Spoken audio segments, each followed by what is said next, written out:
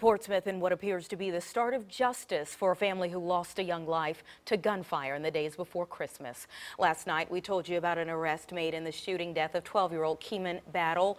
The suspect also underage tonight. Keeman's family talks about the arrest. 10 on your side's Kayla Gaskins has new information. Kayla?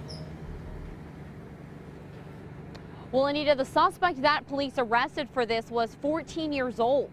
According to the victim's family, the two of them were friends. It's been a painful past few weeks for all of those involved.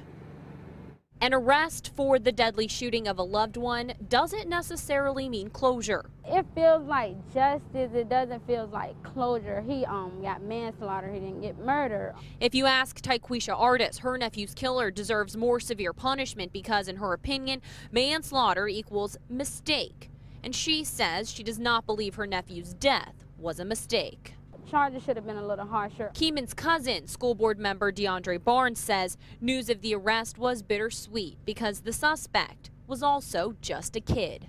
I'm kind of hurt that it's just another kid.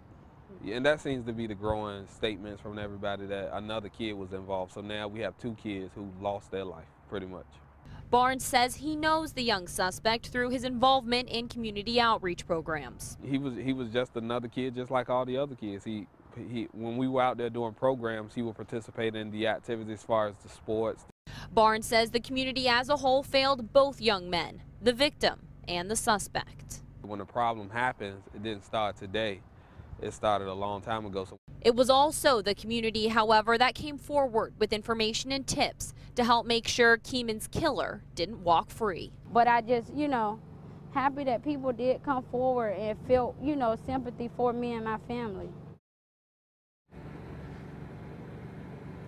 Well, because the suspect is a juvenile, police have not released the name. Reporting live in Portsmouth, I'm Kayla Gaskins, 10 on your side.